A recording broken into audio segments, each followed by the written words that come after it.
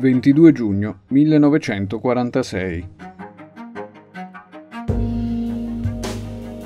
Entra in vigore il decreto presidenziale di amnistia e indulto per reati comuni, politici e militari, avvenuti durante il periodo dell'occupazione nazifascista. La legge è proposta e varata dal segretario del Partito Comunista Italiano Palmiro Togliatti, ministro di Grazia e Giustizia del primo governo De Gasperi.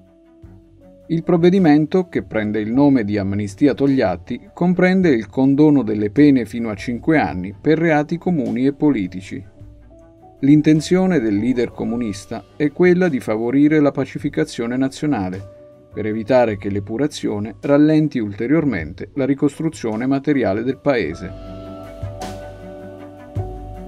ma il provvedimento finisce per tradursi in un vero e proprio colpo di spugna per tutti i reati e i crimini commessi dai fascisti. Migliaia di ex membri del partito fascista vengono liberati dalle carceri o esonerati dai processi. Il provvedimento di amnistia scatena fin da subito malumori e tensioni, soprattutto nel nord Italia, dove la lotta di liberazione è stata più dura rispetto ad altre parti del paese. Le polemiche provengono soprattutto dall'associazionismo partigiano e dai perseguitati politici antifascisti, che non accettano di buon grado la scarcerazione di chi ha commesso reati particolarmente efferati.